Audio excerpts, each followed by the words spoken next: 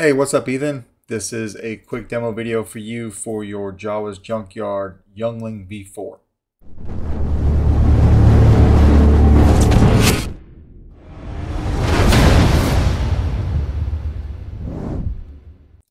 This is a saber that you had Austin over at Story Workshop weather for you and then send it over to me for an install. It is a one button setup, which is right here. All right. Um, you have got a Carl Chen V4 NeoPixel adapter. We'll take a better look at that here in a second. Um, to get your chassis out, you got to do two things. Uh, don't forget to do this first thing, which is grab this switch and pull it out. It's on a magnet right here. Leon loves his magnetic switches. You've got to pull that out or you'll ruin it. All right, so pull that out first. Then we're going to come over here and we're going to take off this button head screw in the back. All right, we're going to talk about this pommel a little bit too. So we're going to take off this button head screw place it off to the side.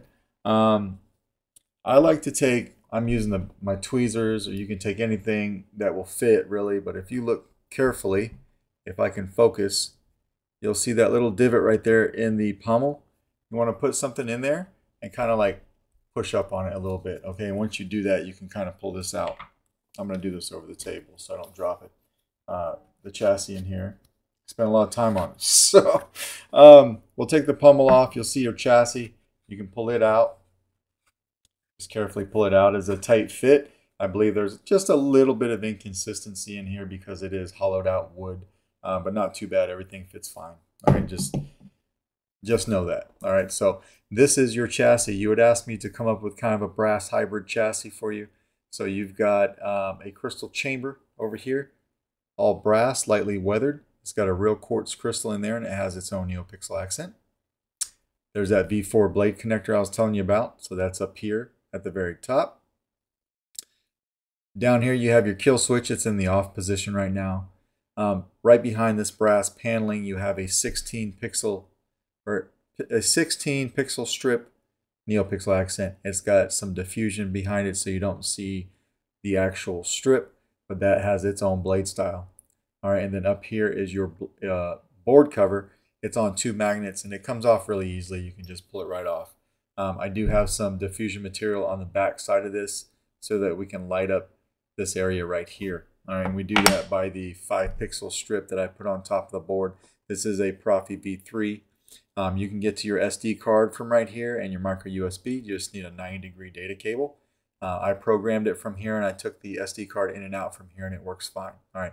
In the event that that makes you uncomfortable, you can pop this board up. It is just a press fit, uh, a pretty tight press fit though, so it doesn't come loose. What else do we got over here?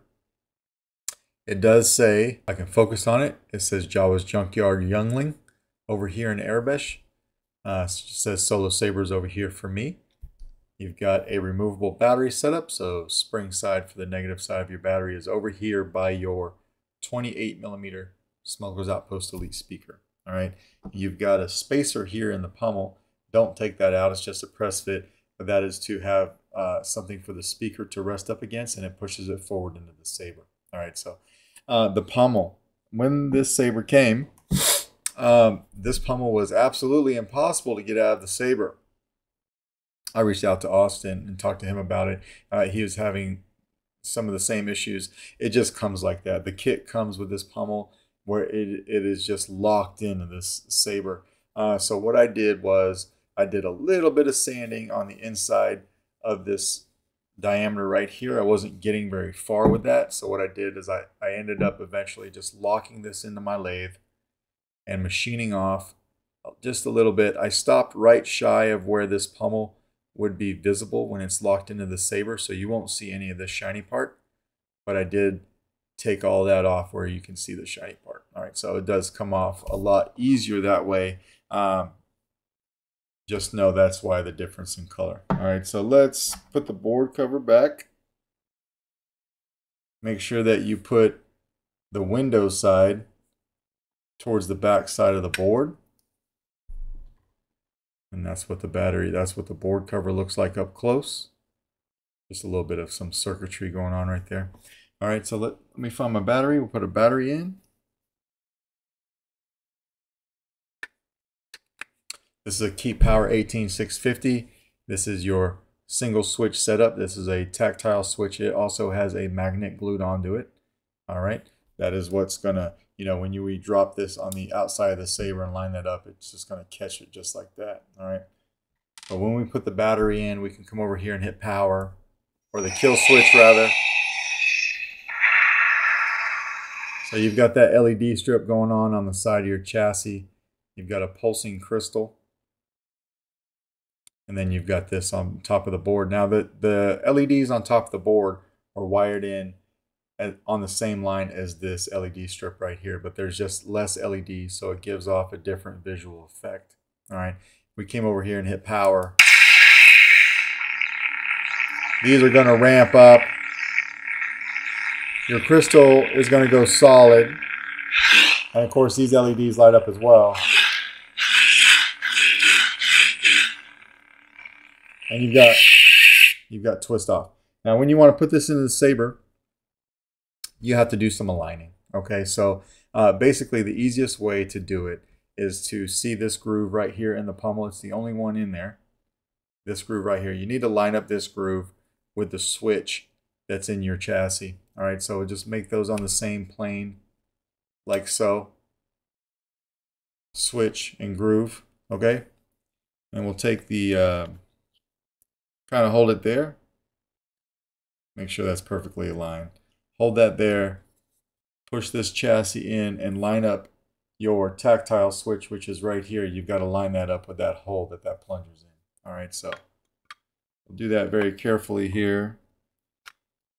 Unfortunately, I can't do it in front of the camera. I have to do it right in front of my face so I can see what I'm doing.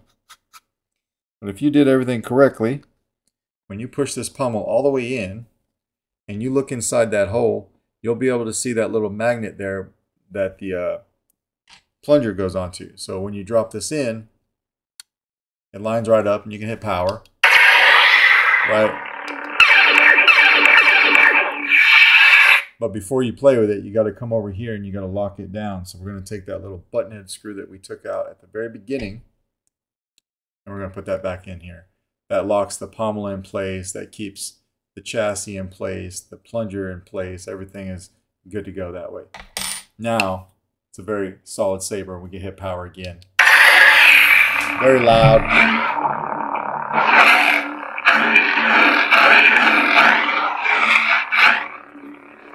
Auxiliary or blaster bolts is just tapping. Super loud saber. Uh, blade lockup is a double tap, but then hold it down on the second tap.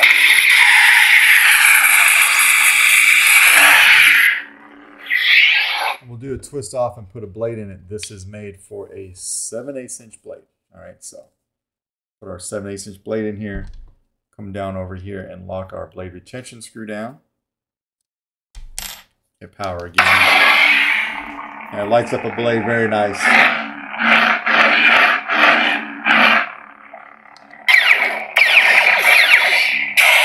The blade lock up. Bright. You just have my sound font on here for now. There is a copy of the config file on the SD card, although I did make some changes. Um, so what I'm going to do is I've been con I've been in contact with you through Messenger. I'm just going to send you the updated config file through there. All right. Um, I think I forgot to change it to a V3 on this config. I had to go back and do that while I was loading it up. Uh, so no, no worries. I'll send that to you.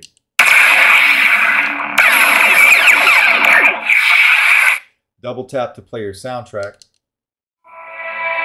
another double tap to turn it off, and a long press if you had multiple sound fonts. so that's how you go to the next sound font. All right, so we'll go ahead and break this down real quick. Loosen this up a little bit, take our blade out, 7 8 inch blade, which is really cool. We'll come over here, we're to take that button head screw out again. But before we take anything else out, we're to come over here, we're to grab our plunger switch and pull that out so we don't ruin it. Get something like this and put it in that little groove and just kind of pop up. When you do that, you can slide this right out. If your chassis doesn't come out, you can put your finger through here and it will slide right out into your hand, just like that. All right, you can see it going from here, but we'll go ahead and turn on anyway. And then we'll flip the kill switch.